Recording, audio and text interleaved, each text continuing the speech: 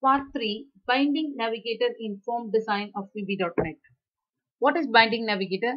This type of seeing navigator is the runtime is called, in the design time also it's available, runtime it will work.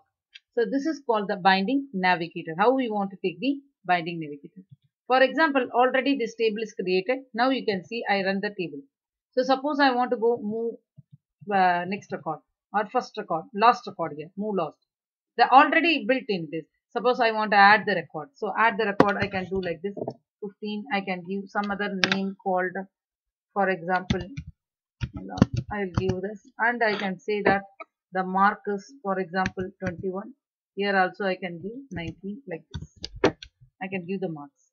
So this is way I want to save the record I will save the record. So now how many records? Five records are available.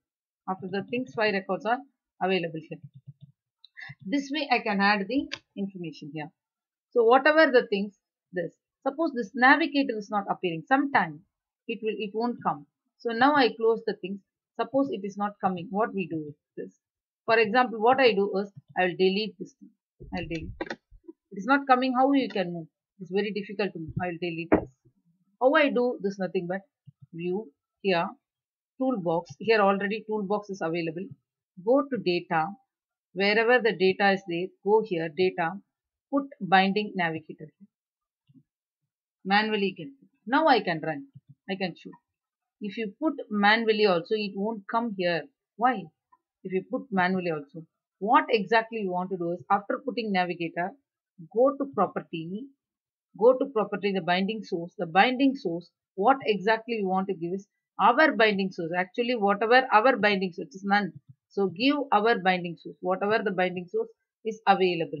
You go here and whatever the property sheet here you go and binding source is available. In the property there is a binding source. One minute I will go there. Again form design.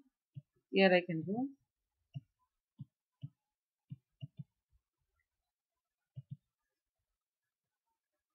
In the binding source I can go here. The property binding source is where in this binding source I'll give what are the name is coming. Student binding source. Because what is student binding source? This is my table. You see this is my table. So student is my table. So student binding source. If I put it this now I will run. Now I will run. Now it is appearing. You see it is enabling. Now it is enabling. So this is a way we can put binding navigator and binding property. We can go on what we can go appropriate binding source in this form. Then only it will work. So if it is not appear don't worry it we can take like this.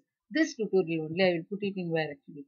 This way I given toolbox data binding navigator whatever the binding navigator drag and place it.